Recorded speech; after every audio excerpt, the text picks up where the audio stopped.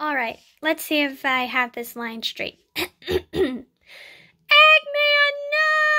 I don't want to be kidnapped on my first Halloween with the Sonic characters! Eggman, woo!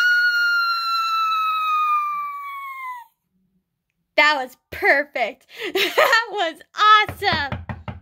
Hmm? Hello? Oh, um, come in.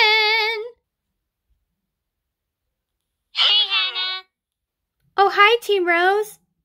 Rehearsing your parts for the big Halloween special coming soon? Yeah, I'm so excited. We are so excited that you could be with us. I know, right? But it feels like uh, there's a lot of pressure, especially for my first Halloween with you guys. You're gonna be great, I promise. Anyway, keep practicing on those lines. Will do. Thanks, guys.